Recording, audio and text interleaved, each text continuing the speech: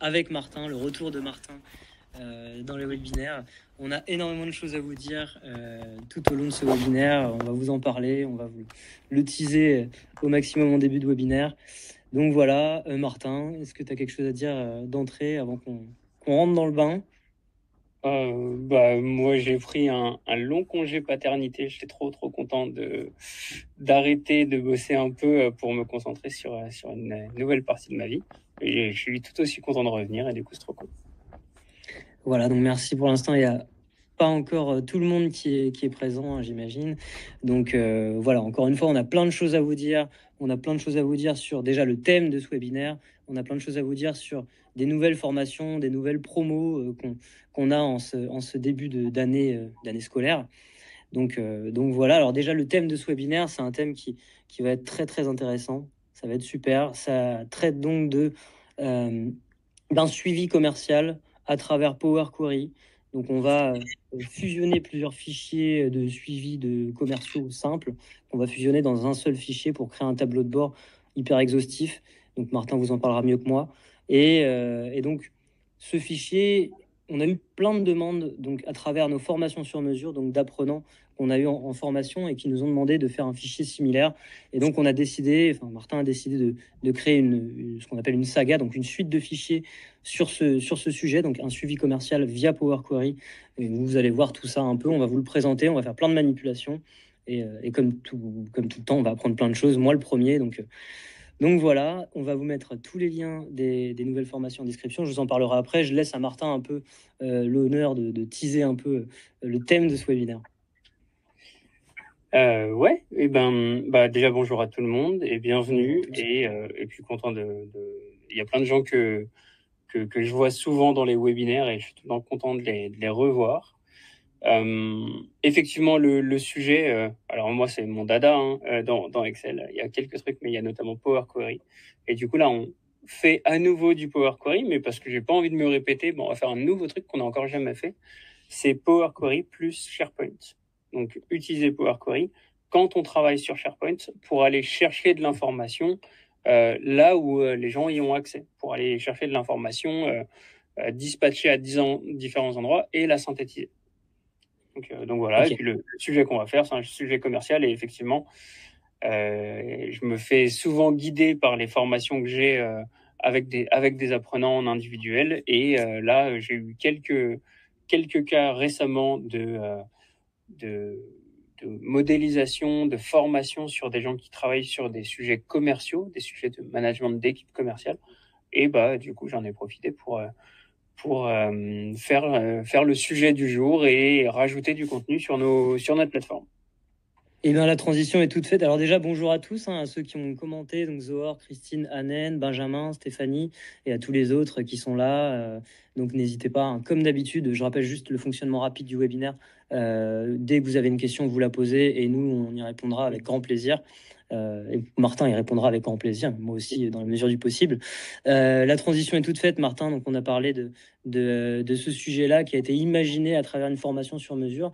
Et en début de, rentrée, donc c'est les premières informations qu'on va vous donner, c'est qu'on a deux offres un peu phares. On a notre offre euh, e-learning. Donc, si vous connaissez, si vous nous connaissez, même si vous ne nous connaissez pas, en tout cas, on, est des, des, des, férus de Power Query. Et donc, on a décidé de créer une formation donc 100% en autonomie e-learning cet été. Et on a une offre promotionnelle euh, qui, qui va jusqu'au 15 octobre. Je vais vous mettre le lien en description. Donc à 59 euros, avec une formation très exhaustive sur Power Query, avec des cas pratiques, des vidéos. Il y a énormément de pratiques euh, du début, donc pour découvrir Power Query, à des trucs très experts. Donc euh, n'hésitez pas à vous inscrire à cette formation. Vous avez jusqu'au 15 octobre pour en profiter, mais elle sera toujours valable.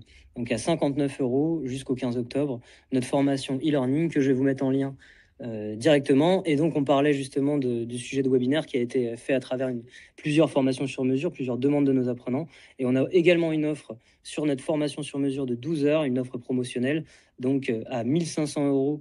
Euh, que vous pouvez financer grâce au CPF sur une formation sur mesure où un formateur s'adaptera à 100% à vos besoins, vous montrera toutes les, vertus de Power Query, des TCD, de tout ce qu'il y a à savoir sur Excel pour euh, pour bah, que vous passiez d'un niveau 1 à un niveau 100, je ne sais pas comment quantifier ça, mais euh, sur Excel. Bonsoir à tous ceux qui sont arrivés. je vous mets les liens directement en description. Martin, est-ce que tu as quelque chose à rajouter?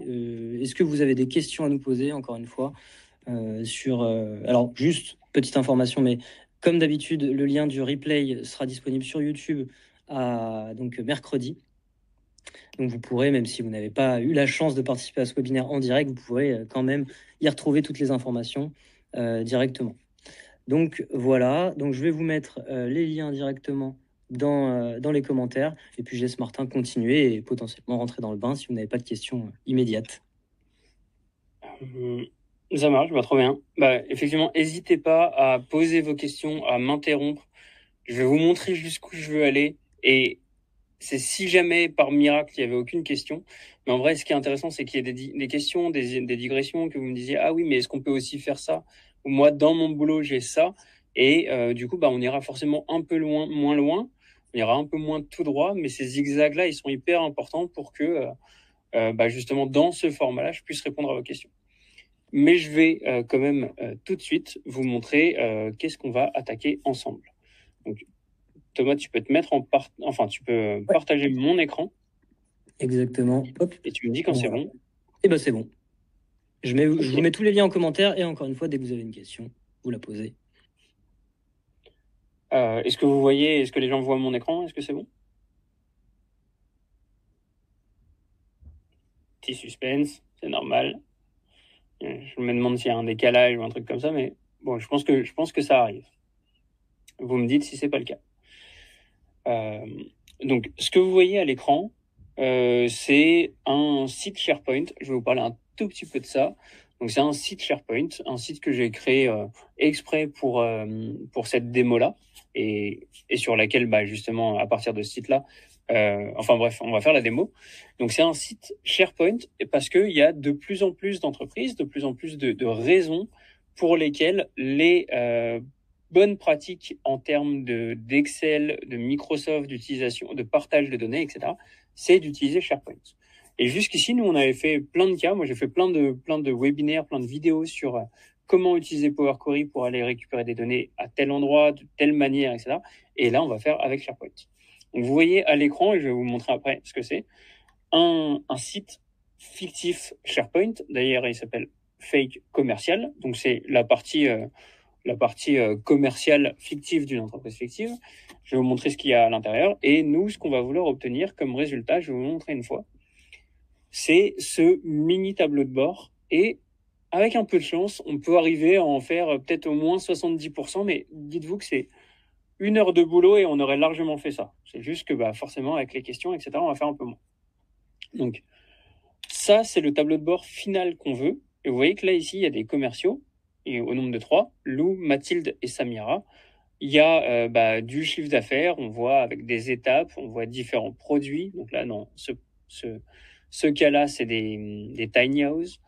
Euh, il y a du chiffre d'affaires qui est signé, il y a du chiffre d'affaires qui est en égo, il y a des graphiques qui expliquent ça dans le temps, etc. Donc ça, ça va être notre objectif. Et nous, euh, la raison pour laquelle on va faire du Power Query, c'est que on a ici sur notre, notre site SharePoint un onglet qui est le suivi des commerciaux. Et chaque commercial, donc les trois mêmes commerciaux, Lou, Mathilde et Samira, ont chacun leur euh, onglet, leur, dossier, leur sous-dossier. Je vais vous montrer celui de Lou, par exemple. Lou, elle a deux choses, elle pourrait en avoir beaucoup plus. Elle a bah, un truc de note perso et le fichier dans lequel, donc classeur Excel, dans lequel elle met euh, ses opportunités et le suivi commercial de ces opportunités avec euh, du coup ici plusieurs étapes. Euh, l'étape 1, c'est le premier contact, mail, appel, etc., qualification, réunion, et puis à la fin, la clôture. Et donc pour chaque opportunité, chaque ligne représente une opportunité. Euh, bah, L'idée, c'est qu'on voit si on est allé jusqu'à la clôture ou est-ce qu'on en est dans les étapes. Donc il y a plein d'infos dans ce tableau. C'est assez simpliste quand même. Il y a un prospect, une opportunité, un prospect, quel, quel produit c'est, à quel produit ça se vend, euh, à quel montant ça se vend, et puis ensuite, où est-ce qu'on en est dans le process. Et donc là, bah, pour cette ligne-là, bah, il y a un process qui est allé jusqu'au bout, euh, on est jusqu'à la clôture, et du coup, bah, ce contrat-là, il est terminé à 100%, et on peut comptabiliser le, chiffre d'affaires. Donc par exemple, pour, euh, Lou, il y a 74 000 euros de chiffre d'affaires réalisé dans ce petit fichier-là. Donc ça, c'est des fichiers pour que les, commerciaux remplissent euh, j'ai fait quelque chose de très simple, mais évidemment, bah, nous, dans les niveaux 2 et 3 de ce qu'on va faire là, eh ben, on va sur des trucs beaucoup plus compliqués initialement. Mais du coup, là, j'ai fait quelque chose de très simple. Trois étapes, pas de commentaires, pas de cases à cocher, pas de trucs comme ça. Et sur ces trois étapes-là, bah, vous l'avez sur, euh, à la fois sur Lou, sur Mathilde et sur, euh, et sur Samira. Et ce qu'on va vouloir faire, nous, c'est avoir un fichier qui vient centraliser ces données-là on va le faire avec Power Query, qui vient centraliser tout ça pour pouvoir avoir une vision d'ensemble de, euh, pas les perso, c'est l'autre, de euh, où en est le chiffre d'affaires et les opportunités et euh, le, nombre d'opportunités, etc. et même le taux de réalisation, le taux de clôture de chacun de ces commerciaux et de l'ensemble de l'équipe en entier. Est-ce que, alors je, vous laisse le voir juste tranquillement euh, quelques secondes, je me tais et, je, et vous me dites s'il y a des questions déjà par rapport à ça. Et ensuite, bah, en vrai, on va l'attaquer en direct. Comment on fait pour euh, passer de ces, ce SharePoint à ce tableau de bord que je vous ai montré au début Alors pour l'instant, il n'y a pas l'air d'avoir de questions, ça a l'air clair. Euh, donc bah, vas-y, je te laisse continuer et je te coupe bien évidemment dans des endroits stratégiques dès qu'il y a des questions je vais laisser celui-là juste ouvert. Euh, comme ça, on pourra revoir de temps en temps à quoi il ressemble. Et je vais vous montrer donc, pour rappel, ici, dans Fake Commercial, dans ce site-là, SharePoint, c'est très facile de créer un site SharePoint euh, quand on a déjà SharePoint dans, sa boîte. Donc, dans ce site-là, il y a des documents, il y a deux dossiers, et puis il y a des sous-dossiers. Et nous, on va vouloir chercher dans euh, le dossier du suivi commercial les sous-dossiers du suivi de chaque commercial et à l'intérieur, on va prendre le suivi des opportunités. Gardez un tout petit, un, peu, tout petit peu ça à l'esprit, que c'est un, un SharePoint à tiroir, en gros, et qu'on va vouloir aller chercher dans les bons différents tiroirs les différents fichiers qu'on veut. Et donc, nous, ce qu'on veut, c'est obtenir ce résultat-là. Un petit tableau de bord assez facile. Hop, on clique sur euh, quelqu'un en particulier, on clique sur un trimestre en particulier, on clique sur, par exemple, le trimestre 3. Là, les dates s'arrêtent au trimestre 3. Euh, et du coup, ben, on voit que, euh, par exemple, euh, il y a 134 000 euros de chiffre d'affaires qui a été réalisé au trimestre 3, qui a été signé. Et si on fait l'addition de ça, ça et ça, ben, on, doit avoir, on doit être à 180 000 euros à peu près. Là, on ne voit pas le compte. on le voit ici, 184 000 euros de chiffre d'affaires qui n'est pas encore signé, mais qui peut peut-être l'être, et notamment des trucs qui sont à l'étape 4, quasiment à la signature. Donc nous, c'est ça qu'on va recréer. Et pour le recréer avec vous de A à Z, je vais fermer ça. Et je vais me mettre sur la version à compléter du webinaire. affichage, je me mets la barre de forme. Euh, donc on va faire du Power Query, mais en vrai ça va pas forcément être le plus technique. On va faire un peu de Power Query et ensuite on va faire aussi des TCD et des graphiques directement pour que vous voyez le, le process complet euh, de euh, comment on fait ça. Donc, est-ce que tout le monde a déjà fait euh, du Power Query, juste pour être sûr? Est-ce que vous, est-ce que vous connaissez déjà Power Query? Est-ce que vous avez déjà eu l'occasion de l'utiliser au moins une fois? Parce que les manips que je vais montrer, c'est pas forcément les plus simples dès le départ. Et du coup, si jamais il y a des gens qui débutent, bah, n'hésitez pas à le dire. S'il y a des gens qui sont très à l'aise, n'hésitez pas à le dire. Et n'hésitez pas à poser vos questions. Mais ouais, dites-moi peut-être juste que moi je le vois et que j'ai ça en tête et que j'ai les noms à côté. Si jamais vous êtes, euh, disons, une note de 0 à 5 euh, de confiance euh, pour vous sur Power Query. 0, vous connaissez pas du tout. Et 5, bah, vous maîtrisez encore mieux que moi. Ce qui est tout à fait possible, mais je connais pas du tout tout. il y a un petit décalage sur live, mais il y a des gens qui ont répondu oui, déjà qui connaissent Power Query, donc il y en a qui ont répondu non, des gens qui sont peut-être plus débutants sur Power Query. J'en profite pour pour euh, vous dire que sur la chaîne YouTube de Solpedine, on a les replays des précédents webinaires et que dans les précédents webinaires, on aborde justement Power Query euh, sur plusieurs sujets. Donc, c'est sur des sujets plus débutants. Il y a Anen qui dit 4,5, il y a une autre personne qui dit 2. Donc, effectivement, c'est dur, c'est très dur de de s'auto-juger sur ça. Il y en a même qui disent oh, 0. Bah, Peut-être que euh, elle fait vraiment 4,5, hein, qu'elle est, qu'elle maîtrise à fond, et c'est tout à fait possible. Je sais que euh, je, la, je, la, vois, je te vois souvent euh, euh commenter, suivre les, les posts de Benjamin, de, de moi, etc. Et donc, je me doute qu'à force, euh, avec ou sans nous, dans tous les cas, ton niveau, il est, il est assez élevé et c'est trop cool. Il y a Tristan qui nous dit 5,5. Euh, et j'en profite aussi pour rappeler du coup ce que je disais en début de webinaire pour ceux qui n'étaient pas encore arrivés, mais que justement on a une offre e-learning donc en 100% autonomie pour aller de la découverte de Power Query à la maîtrise, euh, la maîtrise de, à un niveau très avancé de Power Query. Donc dont vous pouvez profiter et je vous l'ai mis en commentaire. Donc en tout cas, voilà, on a toujours des ressources qui vous permettent, même si vous êtes à un niveau zéro, de, développer vos connaissances et de vos compétences en Power Query. Et grâce au replay, vous pourrez tout comprendre si vous n'avez pas tout compris euh, dès, euh, dès, le direct. Donc voilà. Je te laisse continuer, Martin. Ça marche. Donc, Power Query, c'est dans Excel depuis 2013. Normalement, tout, tout, le monde a accès à cette version-là, au moins. Et du coup, euh, je, vais, je vais aller dans Données, obtenir des données à partir d'un fichier. Alors, je vous montre quelque chose que j'aurais fait normalement, mais je ne sais pas pourquoi, depuis quelques mois maintenant, j'ai plus à partir d'un dossier SharePoint, alors que je vous ai parlé de SharePoint. Du coup, je l'ai plus ici, donc euh, comme euh, bon, c'est pas très grave, je vais passer par à partir d'autres sources, requête vide, et je vais écrire. J'ai plus le bouton, mais je vais écrire la requête. C'est quelques quelques mots clés à taper, c'est très rapide. Donc, juste au cas où, hein, vous verrez vous verrez l'enregistrement, vous reverrez le, le le replay du webinaire, mais j'ai fait obtenir des données. Comme moi, j'ai pas à partir d'un dossier SharePoint, je suis allé dans à partir d'autres sources, requête vide, et je vais écrire moi-même le début de ma requête. Donc, ici, je peux écrire ce que je veux. Je suis dans une requête vide, je peux écrire ce que je veux. Je vais juste écrire que je veux, je vais taper le mot-clé SharePoint, c'est facile. SharePoint, et il me propose trois choses. Euh, des tables, euh, des files et des contents. Moi, je vais prendre les files, je vais aller chercher euh, une URL qui correspond à, au site que moi je veux explorer, euh, dont je veux récupérer les documents, les files dans SharePoint. Et donc là, je vais devoir lui donner une URL. Hop.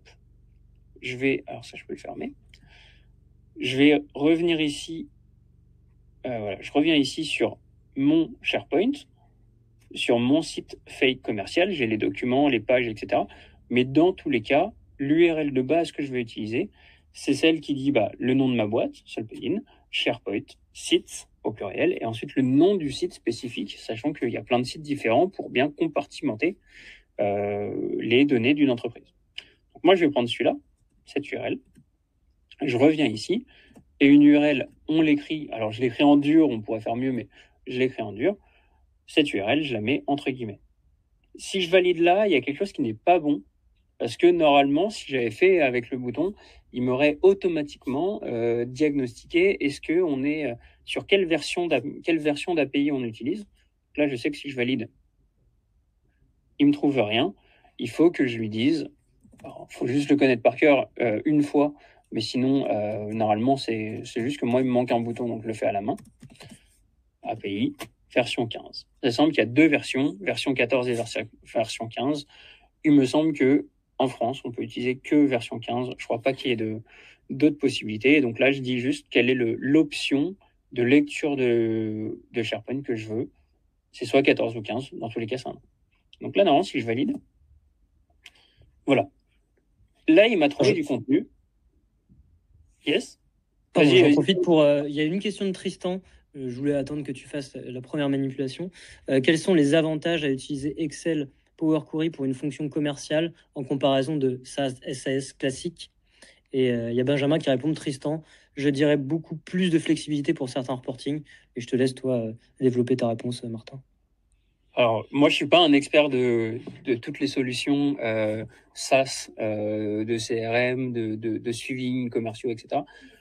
Ce que je remarque en général, c'est que ces solutions, souvent, elles sont un peu éclatées, pas dans le sens elles sont nulles, mais dans le sens où souvent il y en a plusieurs euh, qui peuvent coexister. Et euh, les données, elles peuvent exister, par exemple un truc de, de phoning euh, qui enregistre les calls, etc.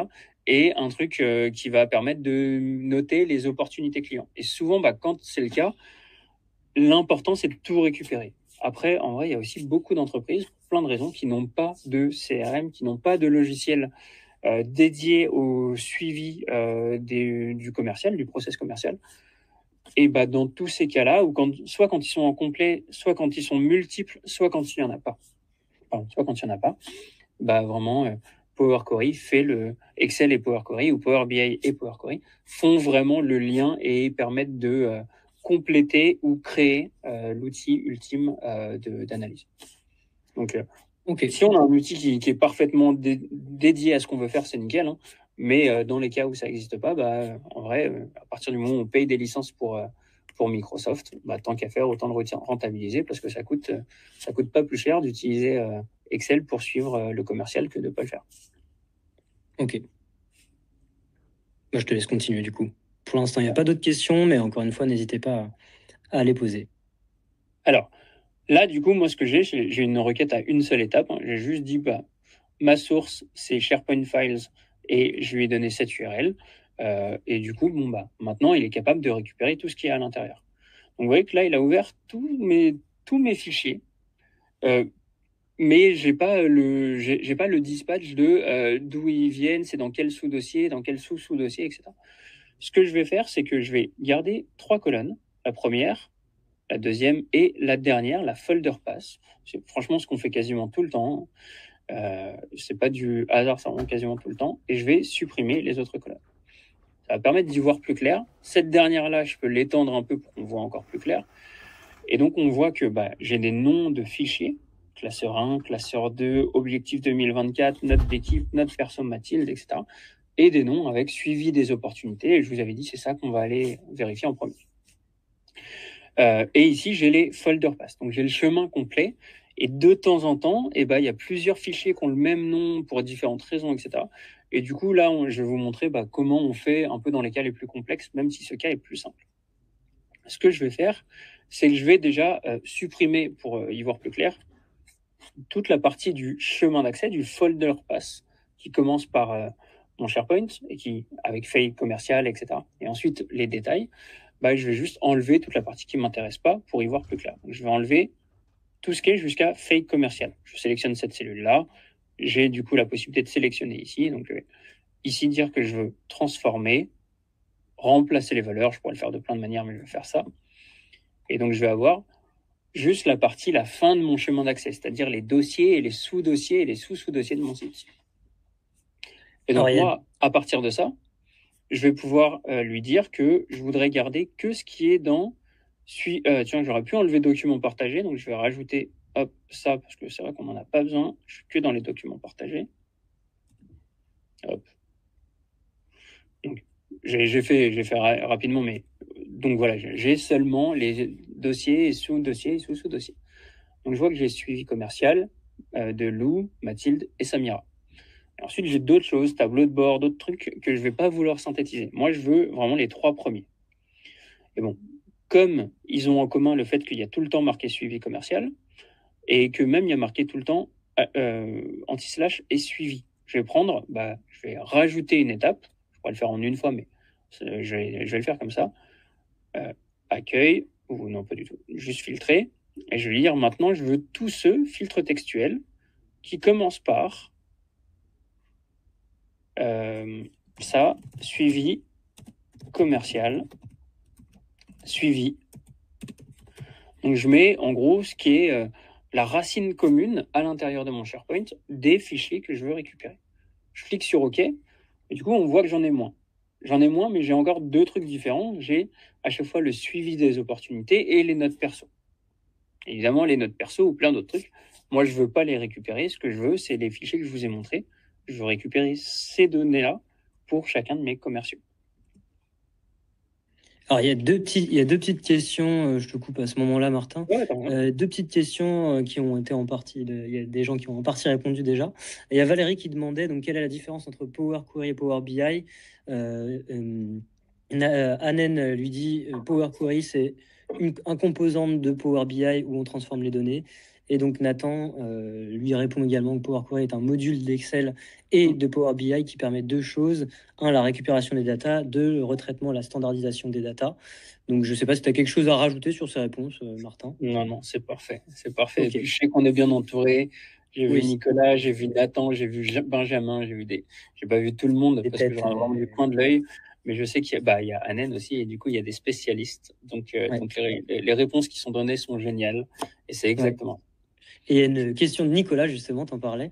Donc, sur un gros SharePoint, il peut y avoir un temps de chargement long s'il scanne tous les fichiers. Un moyen de spécifier un sous-dossier? Euh,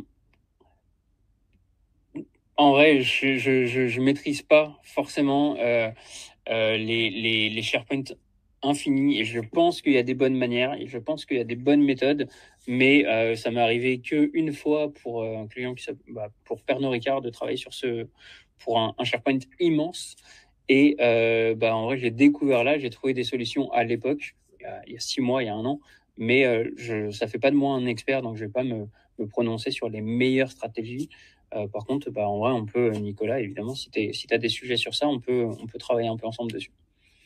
Et donc Benjamin qui dit, bon, c'est quand même très rapide en, en général le chargement. J'imagine qu'avec une base de données hyper conséquente, c'est vrai que ça peut éventuellement ralentir un peu le chargement. Après, il y, a, toujours. Euh, ça, dépend. Ça dépend. Euh, en vrai, c'est vrai que finalement, c'est assez rapide. Euh, il y a un truc qui est un peu. Il y a un truc dans les options. Alors, je sais plus où c'est. Et n'hésitez pas à me dire si vous savez. Hop. fichier, options et paramètres, options de requête, où on peut spécifier le fait de ne pas tout réactualiser à chaque test. C'est plus facile le chemin d'accès sur Power BI, je crois, pour, décocher ce truc-là. Ce qui fait que en vrai, bah, euh, la requête va mettre euh, peut-être une minute à s'actualiser, mais quand on est en train de la créer, elle va pas se réactualiser en permanence. Donc c'est facile de travailler dessus. Euh, et donc ensuite, bon bah faut juste attendre une minute. Mais évidemment, quand on est en, phase de création, c'est là où on rencontre notamment le plus de, difficultés à gérer ces temps de latence dus à, des à des dossiers SharePoint, des sites SharePoint hyper hyper lourds du coup, en vrai, c'est vrai que bah, une fois qu'on a bien paramétré notre requête, on clique sur actualiser tout, on attend 30 secondes et normalement c'est passé. Mais 30 secondes à chaque fois qu'on fait une étape, c'est long.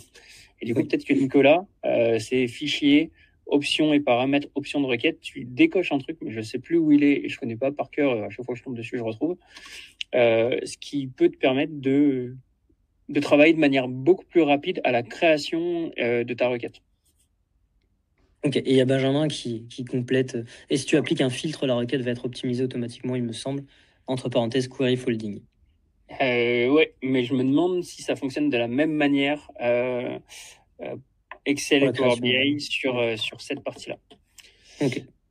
Donc, très bien, vas-y, on te laisse continuer. Je te laisse continuer. Ouais. Donc, suivi des opportunités, je prends cette base-là, hein, je clique ici, suivi des opportunités, je vais prendre tout ce qui commence par suivi des opportunités, et je vais à nouveau appliquer un filtre pour regarder que ça. Filtre textuel, commence par, hop, suivi des opportunités. Et, euh, voilà, donc il me reste que mes trois fichiers que moi je voulais, donc le fichier de euh, Lou, le fichier de Mathilde, le fichier de Samira. Là, j'ai le chemin complet, mais cette colonne maintenant, j'en ai plus besoin. Et ici, j'ai les datas. Donc les data, on voit qu'en tout cas, il y a euh, des fichiers euh, euh, en, bits qui permettent de bah, savoir, on voit l'icône, etc. On sait que là, il y, a de la il y a de la donnée. Il ne sait pas encore comment la lire, on ne lui a pas dit, et du coup, il y a de la donnée. Normalement, là, le choix principal, ce qu'on fait, c'est combiner les fichiers. Mais moi, j'aime pas cette option parce qu'elle rajoute énormément de difficultés à lire la requête, l'endroit où il y a les requêtes ici. Et du coup, en général, quand on est là et qu'on a commencé par ça, moi, j'utilise pas, euh, pas cette option-là, j'utilise pas cette double petite flèche. Je vais le faire plutôt à la main et c'est très rapide. Et en vrai, j'ai envie de vous montrer des trucs, euh, des trucs vraiment intéressants, donc je vais le faire comme ça. Je vais ajouter une colonne, colonne personnalisée, et je vais lui dire que ça, c'est par exemple mon contenu euh, ou ma data. Donc c'est très simple à faire et surtout, vous, vous, le notez une fois, vous allez voir que la requête, elle va faire quelques lignes, hein, c'est tout. Euh, et ici, je vais lui dire simplement que je veux euh, Excel, Workbook. Et là, il me dit, bah, donne-moi un fichier en binaire. Là, c'est des fichiers en binaire, c'est des fichiers qui n'ont pas encore été euh, traduits dans le langage qui permet de les décoder. Et du coup, bah, là, il me demande un fichier en binaire. Je vais dire que le fichier en binaire, c'est la colonne binary. Je clique sur OK. Et là, je vois que là, il me dit des trucs qu'on retrouve euh, dans des fichiers Excel, une feuille et une table, c'est-à-dire une feuille et un tableau. La feuille s'appelle data, le tableau s'appelle tableau 1, etc. C'est exactement ce qu'on retrouvait ici. Une feuille qui s'appelle data, un tableau qui s'appelle tableau 1. Donc moi, tout ce que je vais faire, alors je peux le faire de plein de manières, mais j'ai pas envie de faire des codes trop euh, euh, esthétiques, on va dire, et je vais plutôt faire des codes faciles à refaire, euh, étape par étape. Et donc je vais juste ici lui dire que, je vais peut-être supprimer cette colonne-là d'abord, ça vous permettra de mieux voir. Là, j'ai la data, et je vais développer sur de nouvelles lignes et sur de nouvelles colonnes ces tables-là. Je vais décocher certains trucs, les deux derniers. Et là, du coup, j'ai euh, pour chaque fichier, Lou, j'ai deux lignes, Mathilde, j'ai deux lignes, Samira, j'ai deux lignes, et à chaque fois, j'ai euh, les deux noms qui correspondent à ce qu'il y a dans ces fichiers. Et ici, j'ai euh, la totalité du contenu de, de ces deux objets. Donc, tableau 1, alors évidemment, si vous découvrez Power, euh, Query, c'est peut-être un peu ambitieux, mais ça vaut le coup de savoir que c'est possible et ensuite bah, de faire des, fichiers plus simples pour commencer. Et après, bah, je fais vraiment de mon mieux pour être à la fois rapide et, euh, et pédagogique dans ce que je fais, même quand on découvre. Mais je sais que bah, là, je ne monte pas des trucs du, du premier niveau parce que euh, des trucs du premier niveau, il y en a partout. enfin, il y en a en tout cas, il y en a quelques-uns et moi, j'ai envie d'aller un peu plus loin. Donc, Ici, on a maintenant six lignes et je vais juste lui dire que moi, je veux tout ce qui est seulement tableau 1. Mes données, elles sont dans un tableau, je vais récupérer les données du tableau. Donc j'ai deux choix ici. je vais décocher data et j'ai plus que les tableaux 1. Donc pour chacun des commerciaux, j'ai son fichier de suivi des opportunités et euh, j'ai ici la data du tableau qu'il y avait dans la feuille data. Tout le reste ne m'intéresse plus. Je vais garder que ces deux colonnes-là, celle qui contient le nom du commercial, ces deux colonnes, celle qui contient le nom du commercial et celle qui contient les datas du tableau. Je vais supprimer les autres colonnes. Et ici, je vais développer, hop, euh, tout ce que, tout, je vais tout développer, tout m'intéresse.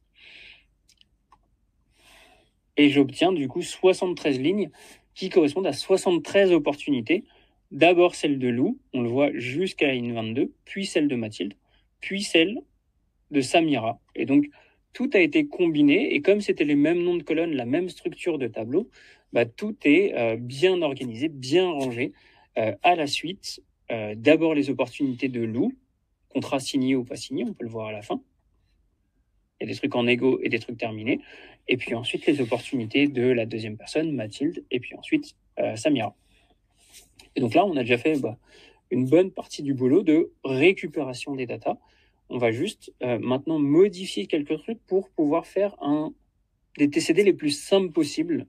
Euh, on va perdre un tout petit peu de, de détails dans la donnée, mais on va euh, se simplifier la vie, notamment pour faire des tableaux de bord en, en 5 minutes, 10 minutes, on va dire.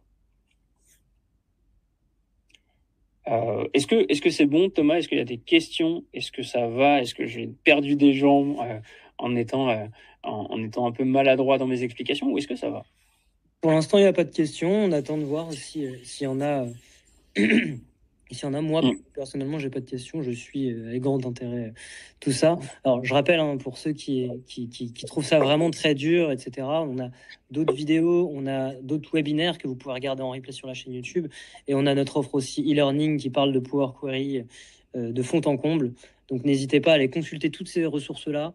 Moi, je vous mettrai au fur et à mesure, là j'ai mis déjà au début, mais les liens en, commentaire euh, de, l'événement. vous pourrez toujours vous y retrouver. Et comme tu as dit très bien Martin tout à l'heure, l'intérêt aussi, même si on trouve ça dur euh, à, l'instant T, c'est de savoir que c'est possible de le faire. Et plus on va monter en compétence avec d'autres ressources, avec d'autres formations, etc., et ben plus on arrivera à cette étape-là où on peut faire des, choses euh, telles quelles. Mais pour l'instant, pas de questions. Euh, ah, je viens de voir celle de Valérie. Attends, je, t'interromps parce que je pense que c'était la même. Euh, Valérie, c'est pas le résultat final. Là, on a beaucoup avancé sur récupérer les données et les mettre à la suite les unes des autres. C'est ce qu'on appelle de là euh, combiner les données, on va dire combiner les requêtes. On a fait une seule requête qui allait récupérer plusieurs trucs. On va continuer un tout petit peu. On en a encore pour 5 minutes de Power Query. Et le résultat final qu'on veut, alors, euh, hop,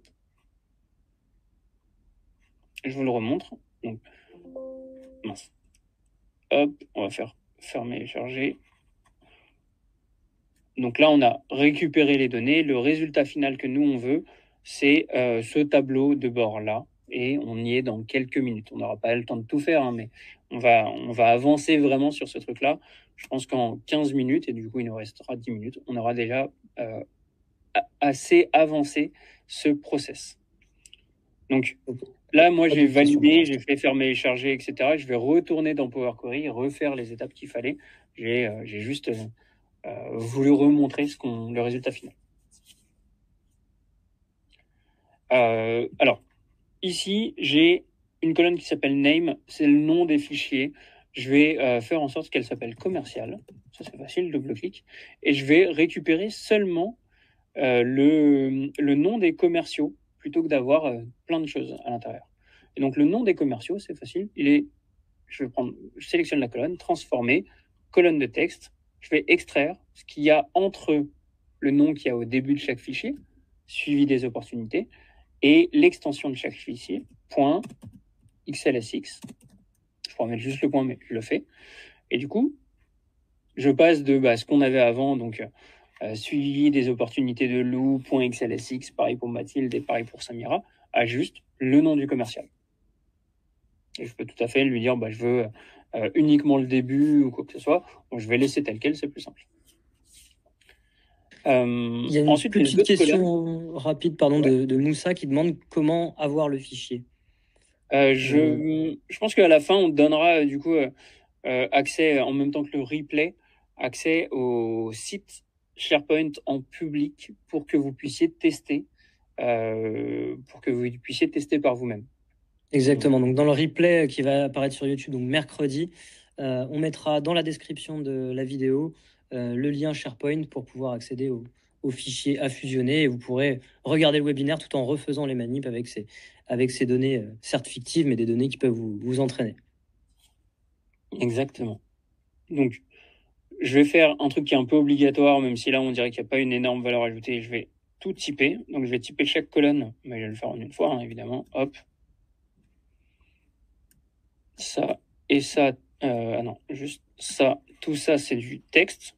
J'ai sélectionné plusieurs colonnes différentes. Modifier le type. Texte. C'est beaucoup plus rapide que le reste. Ça, c'est du pourcentage. Euh, pourcentage. Le reste, il y a des devises et des dates.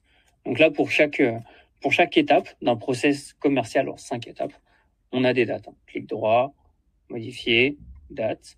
Et dernier truc, ici, on a des montants. C'est soit 15 000, soit 25 000 euros. Hop, montant, je mets devise. Donc là, j'ai bien tout typé.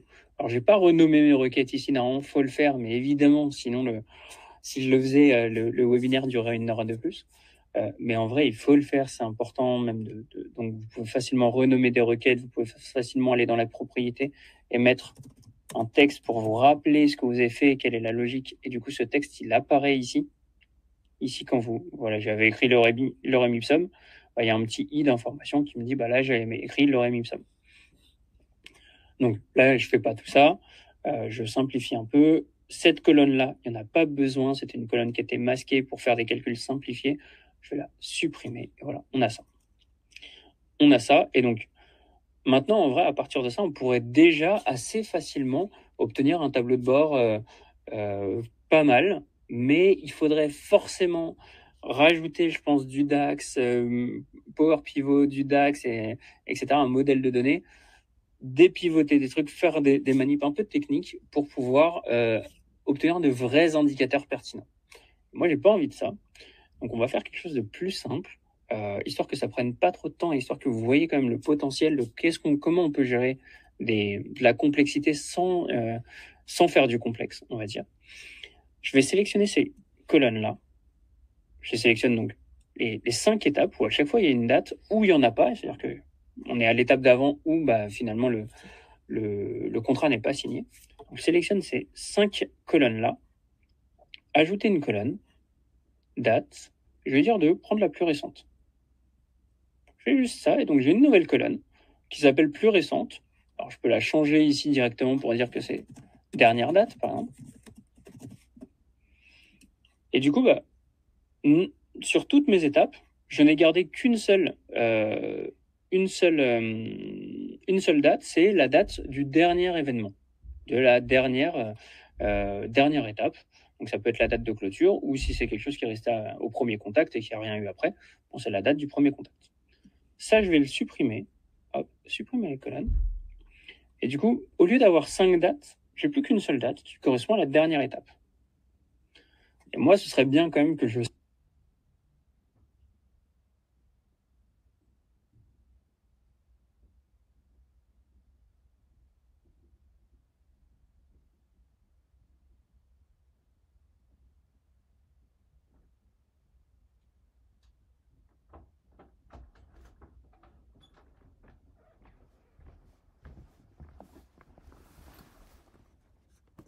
On aurait pu faire de plein de manières différentes, mais là, comme j'ai des taux de complétion entre 20% et 100%, entre une étape et cinq étapes, bah, je vais juste lui dire que je vais faire cette colonne-là x 5 en, alors je vais peut-être le mettre ici en euh, type number, euh, type, euh, non, int, oh là là, ça se voit que j'ai fait une pause euh, euh, de boulot pendant quelques mois. Je suis un peu rouillé sur des petits trucs. Euh, du coup, là, maintenant, j'ai des nombres. J'ai fait un pourcentage fois le nombre d'étapes. bah, si c'était 100%, bah, ça fait 5 étapes. Et donc là, j'ai juste à lui dire, bah, je vais rajouter le mot étape devant. Donc quand c'est 5, étape 5. Je vais rajouter le mot étape avec des guillemets. Je fais tout en une fois, histoire que de ne pas rajouter plein plein d'étapes. Donc, je mets le mot étape devant, entre guillemets, et ensuite je vais rajouter un. Euh, là, si je si je faisais pas ça, il me mettrait une erreur. Hop, pardon, clique au mauvais endroit. Il me met une erreur parce qu'il dit on peut pas, on peut pas coller un texte et, euh, et un nombre. Donc je vais juste lui dire que là, je vais faire un text from. ça, je le fais en rapide. C'est des, petites étapes, il faut voir la logique surtout, c'est ça qui est le plus important. Et du coup, là, vous voyez que bah, maintenant, ça, c'est plus une integer, c'est un, type text. Hop. Et surtout, ça, on va l'appeler étape. Du coup, maintenant, j'ai moins de colonnes qu'avant, mais j'ai à chaque fois le numéro de l'étape de chaque ligne, alors que avant, c'était sur différentes colonnes, le numéro de l'étape auquel euh, s'est arrêtée l'opportunité et euh, la dernière date. Maintenant, je vais faire fermer et charger. Alors, j'aurais pu fermer et charger directement dans un TCD. Euh, je ne peux plus le faire là, donc je vais le faire par là. Vous allez voir que quand on a ça, quand on s'est réorganisé pour avoir les bonnes colonnes, etc., les bons trucs, les, les, bonnes manières de faire, et ben ensuite, insertion tableau croisé dynamique, et on va faire des tableaux croisés dynamiques très simples à toute vitesse. Euh, les tableaux croisés dynamiques, j'avais déjà mis calcul, une feuille calcul, je vais venir ici et vous, voyez, ils ont déjà des noms, etc. Ça va être assez simple à faire. Et je vais les ajouter au modèle de données. C'est pas forcément essentiel pour ce cas-là, mais en vrai, il faut tout le temps le faire. Donc, en gros, là, j'ai fait Power Query. J'ai récupéré mes fichiers, j'ai fait des transformations pour que ce soit plus simple à utiliser. Maintenant, j'ai 73 lignes, 73 opportunités. Et ça va être très simple de faire des euh, calculs dessus pour obtenir des graphiques avec. Euh, hop, on va faire, j'ai mon premier TCD, afficher la liste des champs. Et si je veux savoir, bah, par exemple, combien il y a, euh, combien il y a d'opportunités, bah, je prends juste les opportunités, je les mets ici, dans valeur, et il me dit qu'il y a 73 opportunités. Si je veux savoir ça fait combien comme montant en tout, je les mets ici. Alors c'est un peu mal affiché, on va faire format de nom monétaire, comme ça. Et il me dit que ça fait 1 414 270. En vrai, une fois qu'on a fait le reste, hein, les TCD vont faire tout le boulot. Là, pareil, 1 414 270, c'est pas le chiffre d'affaires. Hein. C'est le chiffre d'affaires réel plus potentiel. Pour les distinguer, je peux juste rajouter ici état. Du coup, j'ai tout ce qui est en égo et tout ce qui est terminé. Je vois que j'ai 24 contrats qui ont été signés, qui ont rapporté 439 000 euros et puis 49 contrats qui sont soit perdus, soit en signature, qui font à peu près un million. Et ça, on pourra avoir le détail après. Du coup, bah, ça, c'est assez facile. Entre guillemets, c'est assez facile une fois qu'on maîtrise le reste. Euh, une fois qu'on a bien, on s'est bien organisé sur Power Query, obtenir ces quatre indicateurs-là, même ces six indicateurs-là, bah, c'est quelques, quelques secondes. Une fois qu'on connaît le reste et qu'on sait bien organiser, quelques, quelques secondes. Et les mettre dans un tableau de bord, c'est pas plus long. Je vais me mettre ici. Je vais dire que ça, c'est contrat signé. Je vais juste faire égal. Ceux qui sont en terminé. J'ai 24 contrats signés. Hop. Mettre un peu en plus gros. Voilà, 22. Je vais faire la même chose ici pour les montants, par exemple. Égal. Calcul. Je vais prendre les montants de ce qui est signé. Je vais mettre en 22 aussi. Du coup, j'ai 439 000 euros de contrats signés. Évidemment, je peux faire tout le reste. Hop. Alors, je ne mets pas les titres, mais c'est la même logique. Hein. Les contrats en égo et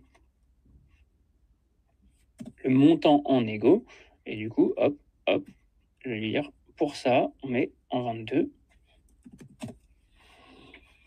Et du coup, là, ça me, j'ai déjà des indicateurs. Ces indicateurs, bon, là, ils sont fixes. Ça paraît pas très bien, on va pouvoir facilement rajouter des trucs. Comme par exemple, je vais dire que je veux mon commercial. Donc, je prends ici, clic droit, ajouter un segment. Et j'ai un segment sur les commerciaux. Ce segment, je peux le couper et le mettre de l'autre côté. Coller tout, hop, du coup, maintenant, tout est dynamique ici. Ça veut dire que si je veux savoir le nombre, le, chiffre d'affaires réalisé, vraiment signé par euh, Samira, bah, j'ai juste à cliquer sur Samira. Et comme mon, segment est lié à mes TCD, qui sont liés à mon Power Query, qui sont liés au fichier que j'ai dans SharePoint, bah, non seulement j'ai des données facilement euh, euh, dynamiques, mais en plus qui seront tout le temps à jour et qui viennent faire la synthèse, etc. Donc, une fois qu'on a fait, euh, une a fait Power Query, en fait, le reste, ça va être assez simple. Et je vais vous montrer bah, CA par étape. Je vais sélectionner ça. Hop. Je vais enlever le nombre d'opportunités. Là, on parle juste de chiffre d'affaires dans ce deuxième. Et je vais juste lui dire que je veux, hop, l'état et ensuite les étapes. Et du coup, bah, dans en égo, j'ai les étapes 1 à 4, c'est-à-dire que les contrats sont pas encore signés. Et en terminé, j'ai l'étape 5. Et donc là, on a le dispatch qui est là, mais de manière plus précise. Et ça, insertion, graphique croisé dynamique. Je vais prendre, euh, on va prendre ça et ça. Je vais couper ça et le mettre ici. Et du coup, bah, alors c'est pas parfait, hein, bien sûr, mais je vais pas aller jusqu'au bout, mais j'ai un graphique ici. Je peux enlever ça, masquer ces boutons-là et avoir un truc un peu mieux. Je peux supprimer ça et puis faire en sorte qu'on ait des étiquettes de données. Ce sera un peu mieux, bord extérieur. Du coup, on se rapproche de, euh, de ce que je vous ai montré au départ. Et c'est facile, encore une fois, de montrer les focus sur euh, un commercial ou un autre commercial. On a une, remarque très pertinente de Annen qui dit la force de Power Query, c'est que s'il y a des changements sur les fichiers sources sur le SharePoint. On n'est pas obligé de tout refaire, il suffit d'actualiser et là on aura les chiffres mis à jour. C'est vrai qu'on n'en a pas parlé, mais euh, l'une des choses euh, les plus folles sur Power Query, c'est que eh ben, tous ces fichiers, s'il y a des changements directement sur les fichiers de chacun des commerciaux, sur les fichiers uniques, eh ben, on a juste à actualiser et tout se mettra à jour, on aura plus d'opportunités, etc. Je ne sais pas si tu as quelque chose à rajouter là-dessus, Martin, mais c'est vrai que c'est... Euh, merci. Une, une métaphore qui m'obsède, juste qui m'obsède, mais j'aime bien faire la cuisine. J'aime bien, mais de temps en temps, c'est un peu euh, répétitif. Et par exemple, un truc que j'aime bien faire, c'est des gnocchis maison. Bah, faire des gnocchis maison, c'est trop bien, mais j'adorerais qu'il y ait l'équivalent de Power Query pour la cuisine, pour la vie perso. C'est-à-dire que tu fais une fois des, des gnocchis maison, c'est trop bon, etc. Et puis, à chaque fois que tu rentres le soir et que tu as envie de gnocchi maison, bah, tu cliques sur réactualiser. actualiser tout et tu as à nouveau des, des gnocchi maison parce qu'une fois tu as fait la recette et puis ensuite bah juste tu as juste à cliquer en deux secondes sur actualiser tout et paf tu as à nouveau des un plat génial. Évidemment bah, c'est facile quand on a de la data c'est facile quand elle est bien structurée c'est pas c'est pas vrai dans tous les cas c'est pas vrai notamment dans la vie privée. Ou sinon on n'a pas la même vie privée on n'a pas la même manière de faire la cuisine. Mais effectivement, c'est ça le but de Power Query, c'est prendre une fois le temps de bien faire les choses et ensuite actualiser en 30 secondes. Et ça, ça change tout. Ça, change le rapport au boulot, ça change le rapport à, ce qui est répétitif et ce qui est euh, redondant et, tout le temps la même chose, etc. au boulot. Et ça change du coup largement euh, ce qu'on fait dans notre travail. C'est moi, mon travail aujourd'hui, une partie de mon travail. On est une boîte avec Thomas et avec euh, d'autres, on a une boîte et on, est, on, fonctionne bien, on a une, petite boîte très sympa, etc. Bah, tous les matins et tous les soirs, je simplement vais voir le tableau de bord et ça me donne tous les indicateurs de ce qui s'est passé euh, dans les dernières 24 heures et de nos objectifs, etc. Tableau de bord commercial, pas parfait, hein, parce que rien n'est jamais parfait, mais qui permet en deux secondes de savoir où est-ce que on en est la boîte euh, sur l'ensemble des métriques qui sont importantes pour moi. très belle métaphore. En tout cas, si ça existe un jour, il faudra en faire une, formation. Mais euh, il y a Moussa qui nous demande donc, quelle est donc la différence avec Power BI sur cet exemple précis? Euh, Alors, en vrai, il n'y en a pas. Il en a pas vraiment. Euh, il y a quelques différences entre cette manière d'utiliser Excel, donc Power, Power Query, plus les TCD, plus faire des tableaux de bord, etc., et euh, Power BI. Mais là, on n'est pas sur des trucs où les différences sont flagrantes. Mais euh, d'une certaine manière, bah, ensuite, c'est à l'utilisation dans des détails que ça va être différent. Euh, enfin, Excel utilisé de manière BI et Power BI sont en vrai deux, pas frères jumeaux, mais deux logiciels très très proches qui font un peu les mêmes choses. et qui, qui, du coup ont Power Query en commun à fond et donc ça ne change rien sur la partie Power Query, ça ne change pas grand-chose euh, sur le résultat visuel qu'on s'attend à obtenir là. Ok. Je ne sais pas si ça te va comme euh, réponse, Moussa. Je ne sais pas si vous avez d'autres questions. Euh, si vous n'avez pas de questions, je fais un petit, un petit double dernier graphique pour la route pour montrer un truc qui n'est pas si évident que ça. C'est ici. Hop, je vais reprendre celui-ci. Et donc là, je vais prendre les contrats signés. Je prends les contrats signés commercial. Donc, je vais enlever les étapes. Je vais prendre les commerciaux. Et du coup, j'ai les montants des contrats qui sont en égo par commercial et les montants des contrats qui sont terminés par commercial. Et ça, normalement, dans Power BI, notamment, bah, on ferait une mesure pour dire, bah, tiens, ça, c'est ceux qui sont terminés, ça, c'est ceux qui ne le sont pas. En vrai, dans Excel, on a euh, une sorte de, euh, de, de, de, manière simplifiée de le faire. C'est juste qu'on garde ce en égo, on garde cette étape, et à partir de là, on va pouvoir faire un filtre pour dire là, je veux ceux qui sont terminés, je décolle ceux qui sont en égo. Je prends la même chose, je prends le même ici, et je vais lui dire que là, maintenant, ce que je veux, c'est pas ceux qui sont en égo, euh, en terminé, mais en égo. Et du coup, j'ai deux TCD distincts, mais qui vont fonctionner ensemble parce qu'ils sont liés au même segment, etc., qui vont me permettre d'avoir bah, deux graphiques qui vont me permettre de bien comprendre l'activité de mes commerciaux à la fois sur les contrats qui sont signés et sur ceux qui ne le sont pas encore. insertion, graphique croisé dynamique, faire ça. Insertion, graphique croisé dynamique. Je vais faire ça. Avec c'est pas les mêmes graphiques, on n'est clairement pas sur les mêmes ordres de grandeur, les mêmes répartitions. je, les coupe, je les coupe, je les colle. Je les mets ici, je vais juste réduire un tout petit peu leur taille pour qu'on voit mieux, que ce soit plus cohérent. Je vais mettre 6. C'est peut-être un peu petit, 6. On va mettre 8. Euh, Et du coup, bah, de la même manière que euh, euh, ce segment a de l'impact sur ce graphique-là, il a aussi de l'impact, même si ce serait moins intéressant, sur ces graphiques.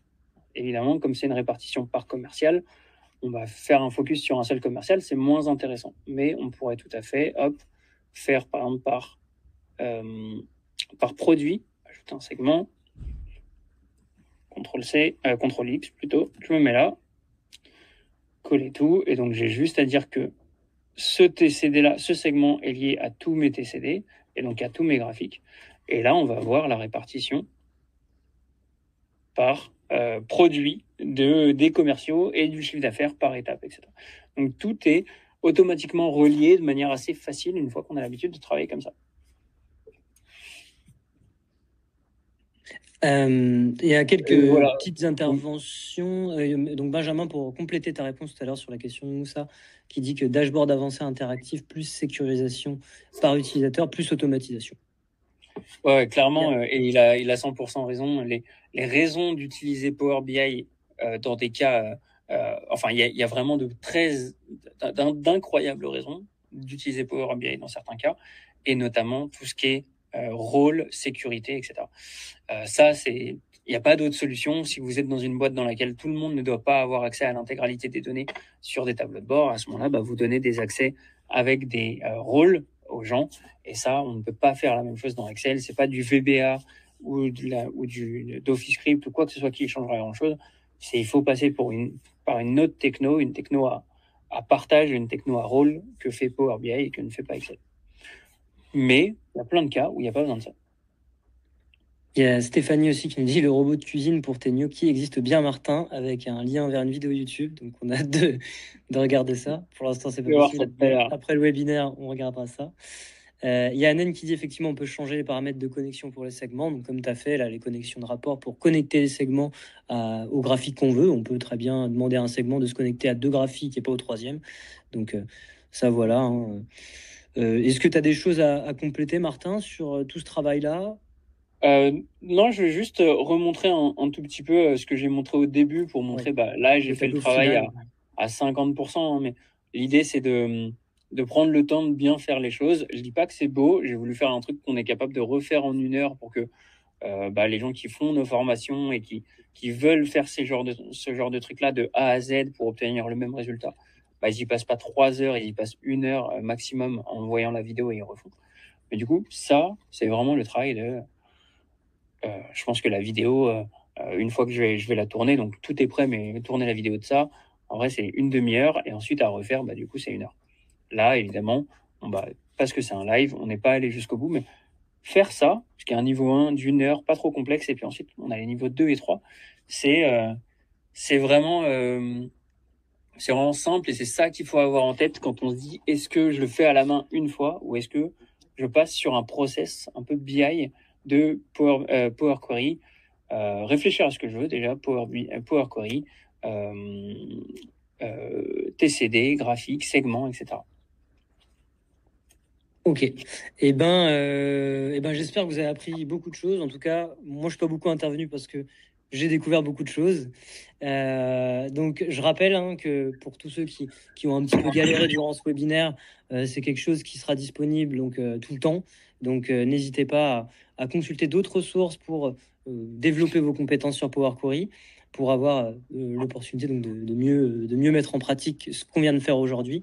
Je rappelle que tout ça, ça a été imaginé à travers plusieurs demandes qu'on a eues dans nos formations individuelles sur mesure et que en ce début d'année, on propose une offre euh, donc euh, promotionnelle qui est valable jusqu'au 31 octobre, que je vous ai mis en lien là des commentaires, une offre donc sur nos, nos formations Excel sur mesure à 1500 euros. Vous pourrez potentiellement refaire ce type de cas pratique adapté à vos besoins, à vos thématiques.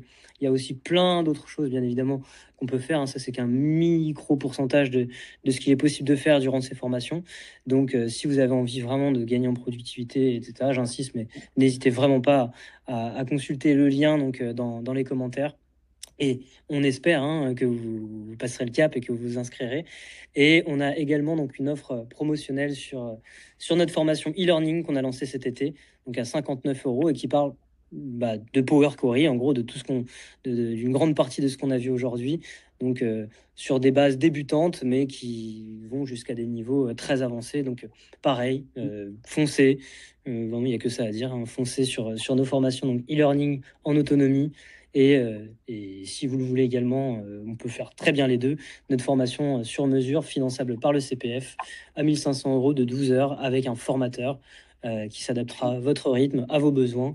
Et vous pourrez potentiellement, après, de vous-même faire des fichiers tels qu'on vous l'a présenté aujourd'hui. donc, je ne sais pas si vous avez des questions. Il y a deux, deux nouveaux commentaires. Donc, déjà, Anne qui nous remercie, qui nous dit que c'est très instructif. Hâte d'avoir les données. Je vais m'amuser à créer un dashboard commercial, effectivement. Euh, Hâte de le voir. Merci beaucoup. Hâte de voir ça. Et, euh, et, bien évidemment, comme euh, je l'ai dit en début de webinaire et tout au long du webinaire, on, le lien du replay sera en, euh, disponible sur notre chaîne YouTube, que je vais vous mettre également en commentaire, euh, donc mercredi. Et vous aurez en description plusieurs liens, les liens vers nos formations aussi sur euh, la, la, la, description de, de, la vidéo YouTube et un lien vers le SharePoint, donc avec les fichiers euh, que, que, Martin a imaginé sur les, les, les, commerciaux. Et en suivant ce webinaire en replay, vous pourrez bah, réaliser tout simplement ce que ce que ce qu'on ce qu'on vient de faire, mais peut-être de, de A à Z pour aller encore plus loin. Voilà, Damien qui nous dit oui, merci, votre accompagnement est top, j'en témoigne. Euh, sachez que on, aura une nouvelle manière de fonctionner euh, sur le webinaire où on fera plusieurs webinaires du même thème. C'est-à-dire que là, effectivement, c'est très souvent le lundi à 18h30, mais on, imagine qu'il y a plein de gens qui ne peuvent pas être disponibles à ces, à ces heures-là. Donc les webinaires, on les fera également en semaine. De toute façon, on communiquera là-dessus. On communiquera évidemment sur les prochains webinaires qui vont arriver, car on, compte en faire euh, régulièrement, plus régulièrement. Donc voilà, n'hésitez pas à, vous faire, à nous faire vos retours, potentiellement euh, nous dire aussi les créneaux qui vous vous arrangerez en, commentaire pour qu'on s'adapte à, vos, à vos demandes. Euh, Martin, je ne sais pas si tu as quelque chose à rajouter. En tout cas, merci à tous d'avoir été présents encore une fois. Et euh, c'était un plaisir. Et un plaisir d'écouter Martin et, ses explications. Ah, je suis très content de, de, recommencer. Du coup, c'est très, c'était très cool. Et puis, effectivement, Power Query, c'est juste le game changer d'Excel que vous préférez travailler tout seul. Et du coup, bah, euh, format e-learning, 59 euros, vous avancez à votre rythme. Il y en a jusqu'au 15, 15 octobre. Et si vous voulez vraiment, genre, switcher totalement votre manière de faire, bah, moi, je suis trop, trop heureux d'accompagner les gens euh, pour créer ce genre d'outils-là. Du coup, c'est des formations sur mesure, euh, individuelles. Et ça, bah, voilà, on fait, euh, on fait une offre avec 200 euros de réduction là pour la rentrée jusqu'au 31 octobre. Et en vrai, on a les formateurs qui étaient là. Donc, par exemple, Mathieu, euh, j'ai vu Nathan, Nicolas, etc., qui sont tous trop forts. Moi, Thomas aussi. Et on est euh, vraiment euh, tout le temps ultra heureux de faire des formations individuelles dans lesquelles on résout les problèmes des gens. Et bah, on, est tellement heureux de faire ça qu'on fait 200 euros de réduction pour le faire plus souvent. Bon, c'est évidemment mm. pas que pour ça, mais mais pensez-y, ça vaut le coup si c'est pas pour vous. Euh, taguer quelqu'un, parlez-en autour de vous nous, c'est tout le temps euh, du bonheur de, faire ces formations. Et on pourrait euh, potentiellement tous, à terme, faire euh, des fichiers tels, tels quels.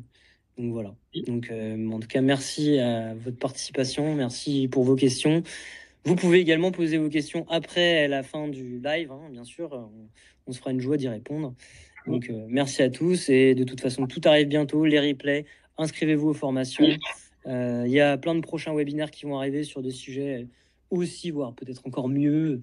Donc, euh, donc voilà. Donc euh, les infos sur les formations e-learning. Alors j'ai mis normalement la page. Je vais la remettre. Je vais la remettre juste juste maintenant. Les liens vers la page de la formation. Donc il y a tout, il y a plein d'informations dessus. Et bien évidemment, vous pouvez poser vos questions aussi sur la formation si vous avez besoin d'informations complémentaires sur sur ces formations. Il y a tout effectivement dans la page. Il y a une petite vidéo que moi, dans laquelle moi je résume tout. Mais sinon, bah, un, message privé ou euh, un, message privé à Thomas ou à moi, et puis on, en discute un peu. Exactement. Je vous remets tout ça en commentaire et bah, merci de votre participation et euh, bah, à très bientôt. Euh, sans vous vous spoiler, on communiquera très très bientôt sur le prochain webinaire et les prochains webinaires qu'on aura le plaisir de, faire avec vous. Donc très bonne journée à tous et euh, à très bientôt. Et merci encore une fois de nous avoir suivis.